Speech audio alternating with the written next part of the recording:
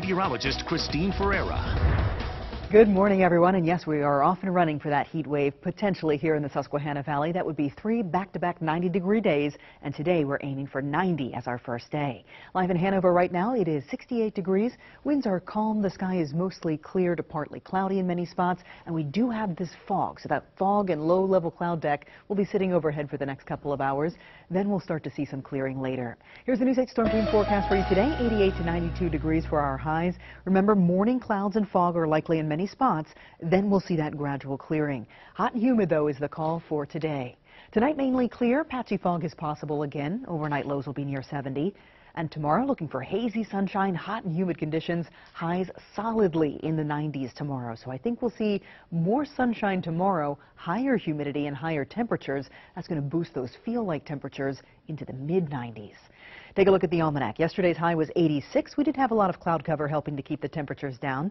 Record 99 set in 1941. And that precipitation yesterday came early in the morning. Many of you were awoken by those showers and thunderstorms.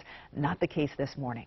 Take a look at the numbers. It's a muggy start. 72 degrees in Harrisburg, 71 for Carlisle, 68 in Selinsgrove, and Lebanon you are reporting fog at 68 degrees as well. Check out Super Doppler 8. All is dry and quiet across the northeast and back toward the Great Lakes, Midwest. All of this due to high pressure. So this area of high pressure today will be moving over our neck of the woods, helping to keep us dry actually turning up the heat as we get into tonight and tomorrow. So look at this. High pressure drops south tonight, keeping things quiet.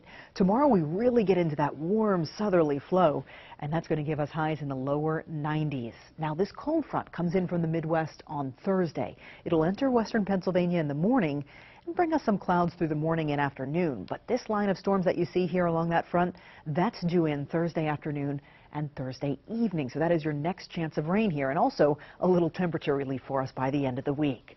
On the bay for today, temperatures will be near 90 degrees. Light winds, very uh, low wave there, just around one foot.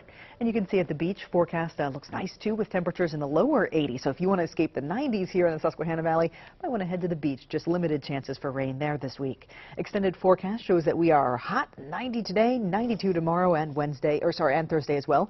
Uh, Friday we do 88 with lower humidity, but it goes right back up for the weekend. So we're in it. We're in the thick of it here. Yeah, Dog days summer. of summer. You bet. All right, Christine, thank you for that.